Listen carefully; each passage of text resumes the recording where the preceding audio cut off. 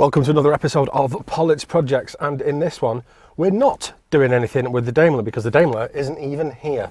The Daimler has gone to a body shop. There will be a video on that soon. So the Daimler is absent. What about the Mercedes? Have I done anything with that? No. Um, since last video, all I've done is drive it, but there are plans afoot for that. And obviously, with these two cars, and of course the Vitesse in the garage, there's a video coming on that soon as well. Um, you know, that means I've got a lot to do. It's three cars, three cars to work on. So what I've done is the most logical thing, the sensible thing, the right thing. I've bought another car.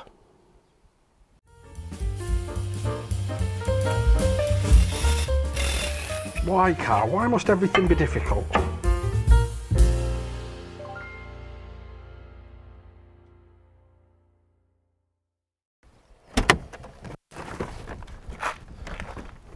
And this is the car I have bought. A 2002 Volkswagen Beetle 2 litre 8 valve, 127,000 miles. Every panel's got a scratch on it, the wipers don't work, the interior looks like something died in it.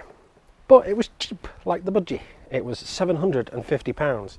And fundamentally, it had the cam belt done and the water pump done in March of this year. It was local, it was delivered, and that was enough for me. So the guy brought it round. Danny, thank you very much. Um, we had a little bit of a haggle because the interior was a little bit worse than I was anticipating. And uh, we shook hands, yeah, at 750 quid. What are the plans with it? I don't know, really. Um, I think I'm going to try and make it quote unquote cool. Cool is, of course, somewhat subjective, but you know, we can change the wheels, we can throw some coilovers on it. It's, it's a Golf Mark 4 underneath, so coilovers are about four quid. Wheel options are plentiful. In fact, I may have already agreed to buy a set of wheels but I'm not telling you what they are until I've actually got them. Um, there are some issues with it. The paint has gone on the back in places. The bonnet needs paint. The front needs paint. The wing needs paint. A lot of paint, basically. A lot of paint. Also needs a damn good clean. But I like it. It's funny because I put this on Twitter and it's amusing to me how divisive these cars are. People being like downright offended at the car that I've bought for myself with my money. Um, you know, people reacting like I've come around their house and had a little wee in their kettle or something. People are strange, but I like it. It's got it's got potential. Everything that he's doing to it is visual. Mechanically, it's it's fine. Um, the only mechanical thing it really needs is it could do with um, a rocker gasket because it does look does seem to be weeping oil from the top of the engine when you take the cover off, um, as in the big plastic cover but yeah, I, I, like it. I think it's a cheeky little thing. I think I can make the interior really special. Um, I've already got rid of some of the soft touch plastics on uh, some of the bits with a bit of isopropyl alcohol, but I like it. So that's the outside of it. You know, it's got a bent wheel. Um, it's scratched to hell, but it's a nice colour. It's Colorado red, so that's nice. Uh, that's that's another reason why I bought it. I quite like the colour. You don't often see them in this uh, in this hue. Um, but yeah, I think I think we can have some fun with this, some cheap fun, and then I'll probably send it down the road. So if you uh, would like to buy an overpriced Beetle with some silly wheels on it and the world's cheapest coilovers, drop me a line in the comments. Um, I've had a look underneath it. It is solid, but we'll go into that in a bit more detail later on. I'll jack it up again and show you what I've observed. Um, yeah, Let's have a look at the interior though, because that bit is uh, special. So we'll cut to my phone for that, because I can't be wielding a DSLR in the interior. So uh, yeah, to the phone, to the innards. Here we are then, inside the Beetle now. This is phone cam, so sorry if the sound changes a little bit. I can't connect my Rode to my phone, or maybe I can. I don't know, but either way, we're using the phone microphone. So here we are, 127,270 miles, 2727. Um, and yeah, it, it runs, it drives, it uh,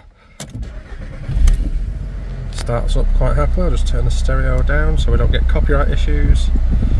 Um, the wipers don't work, which was another reason I got it a little bit cheaper. So when I turn the ignition back on, they try and do something, but yeah, I don't know what's happening there. So that needs having a look at. Um, the dash is in bits because I've start, I've started taking it apart because I'm going to do stuff with these plastics because they've all got that soft nonsense on them. Same goes with that. Need to replace that vent because I've got no wheel. Um, the CD player works, that's nice. Need a blanking plate for that, which I've ordered. It doesn't have the vase, like I can't remember the German for it, but it doesn't have that, so I might put a Bic Biro in there, or maybe a 10mm spanner, something uh, applicable.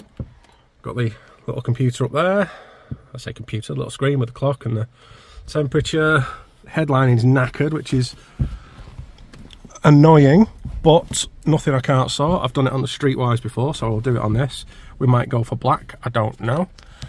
Um, glove box doesn't work because the thing's broken, so you have to do it in kit form. Oh, no, that just makes it go for twang. Ah! There we go. Pretty grim in there. Uh, musical though, sounds twangy. Door cards have gone. All these doors are also all that awful soft plastic stuff. I did get it off there though. So that's what it looks like after. And that horror is what it looks like before. Um, yeah, it's all scratched up. It's all it's all visual stuff. It's all aesthetic. You know, like the, the armrest isn't too isn't too brilliant. You know, it's got no catch on it, so we might have to visit a scrapyard in the near future, clean all this up. Still got soft plastics on it. I hate that stuff. Not, not, not anything of major concern, really. Like I say, it's just, just visual things. I've had a doggo in the back at some point. I've got enough hairs there to make my own doggo. So maybe that could be a side hustle on the channel. Pollitt's genetics or something. And we'll see if we can make a little Jack Russell. Or, you know, I'll just hoover it out. Probably that. Um, I have got that piece, I've taken it off and painted it because that'll make all the difference. Yeah, I, I like it. I think there's I think there's potential. We can redo the door cards, repaint everything, recover bits. I've got ideas for the dash about recovering those panels, um, maybe in some sort of flocked material or Alcantara-esque eBay special. You know, a bit of a learn by doing exercise really, but uh, yeah, we'll see. Right, let's have a look in the boot. Here's the boot then. It's got the six disc multi-changer for the fat beats. Parcel shelf is uh, broken, so I need to order a new one of those. It's got a little 12 volt though, so I can put an ice box in there with some uh, zesty beverages on chill maybe. More of the doggy doggy back seats. Um, it's got bits in it, you know, like first aid kit and spare wheel and all that, but a bit minging up there, bit of a, a bit of a clean needed. That's why we're sponsored by uh, Nielsen's heritage range of uh, detailing products. This was the paint I was telling you about. Not very good at all. All flaking off there. But we can we can sort, we can rebuild.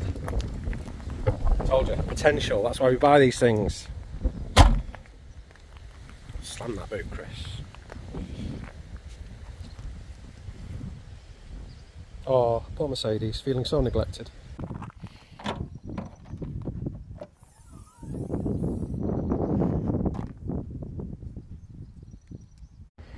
And then we have the Engine. 2 litres and 115 brake horsepower Fury. It does have a dipstick.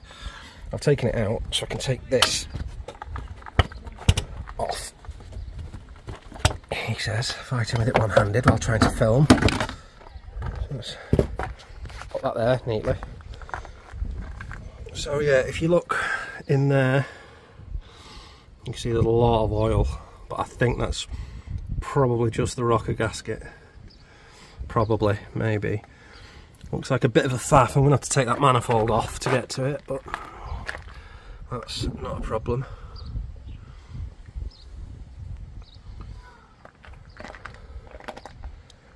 You know, it's a bit dirty, it's a bit old, but it's all there. It's all present and correct. It runs quite happily. Starts on the button. What more can you want? And again, it's nothing a bit of uh, cleaning product and a bit of time can't sort out. I might do a little video on how to detail your your engine. Change that rocker cover gasket as well, so I'll get that ordered and then we'll do a little video on that because I think this will come around quite nicely. you know, paint these brackets up, paint that up, get a bit of uh, wire brush action on the go. I think that'll smart up nicely. Because if you're going to have your manifold coming through your engine cover, you've got to, uh, got to give it the little buffy buffy shiny shiny. That's a industry technical term for you there.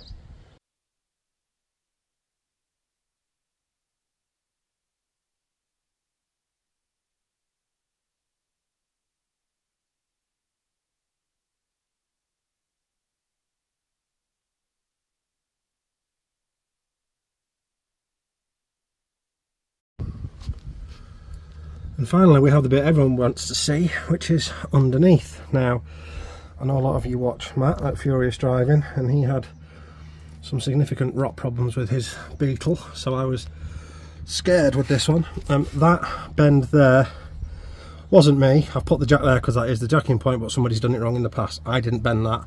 I didn't bend that. But having said that, find me a Beetle that's got straight sills on it.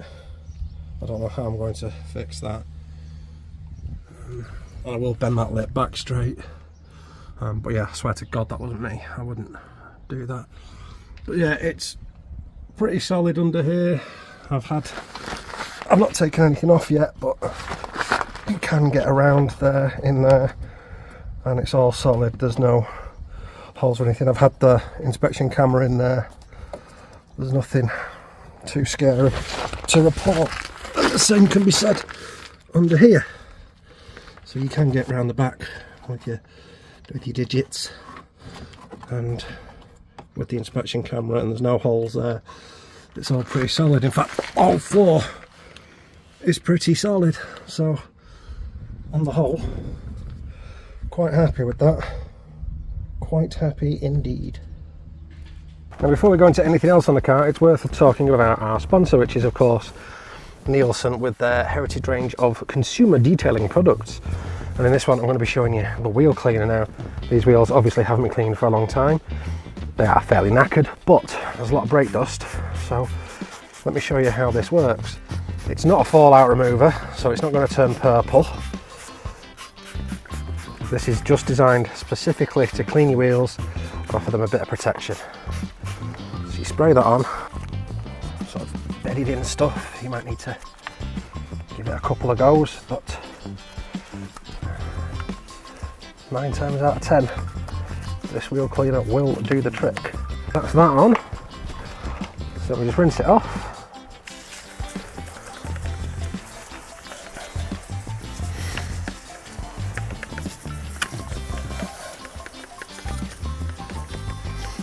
Obviously you do this with a hose pipe, not a uh, pressure bottle, but I don't have a hose pipe at the front of my house yet. I will soon, I promise.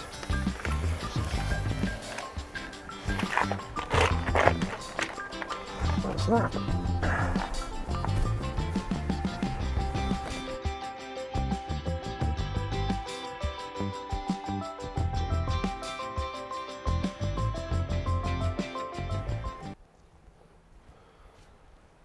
there we go then, that is your introduction to Doug the Bug. Look at the number plate. It has to be Doug the Bug. How could it be anything else? I know I didn't do any spannering in that, but it's an introduction to the car. To, uh, yeah, to familiarise you with this new, hopefully exciting project. Um, I'm going to order some bits for it today.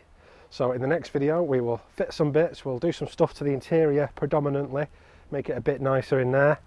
And then uh, we'll take it for a little drive, see if there's anything else that comes up. I've had a little test drive in it, but I've not done any major miles in it.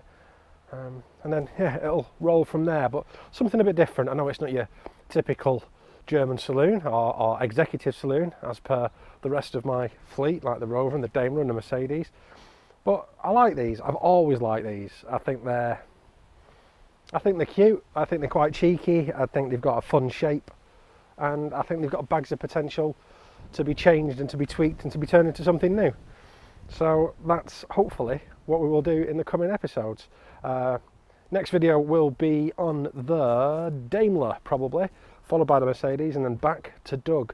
But as ever, thank you for watching. Thank you for subscribing. If you haven't, please consider doing so and click the bell and stuff.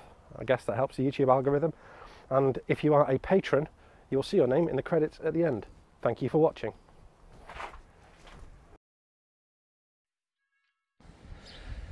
I was just about to call it a day and I thought, let's check those roof channels because Matt over at Furious Driving, he had some serious rot going on in the roof and yeah, it seems seems my Beetle's no different.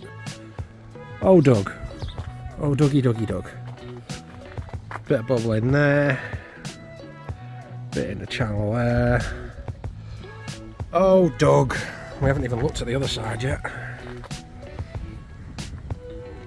We can repair, we can rebuild, we can protect. We can focus. So naturally I had to take the driver's side trim off. This doesn't look so bad on this side. You're seeing it for the first time? Oh no, the driver's side mint! Driver's side's absolutely perfecto. To such an extent I'm going to put that trim back in. Well, I'll clean that out and then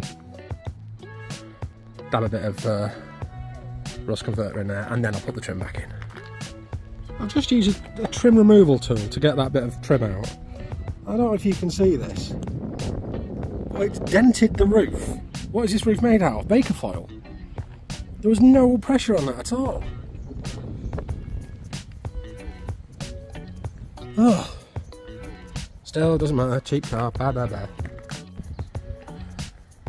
treated all that with uh, Hammerite Kurust so that should convert it a little bit give it another clean out another treat and another protect. And then pop the trim back in and uh, yeah pretend like we didn't see any of that. Because ignorance dear viewer is bliss. Unless of course you buy a knackered old beetle. Thanks again for watching. Thanks for watching this little end bit that I uh, didn't know I was going to film and I will see you in the next one.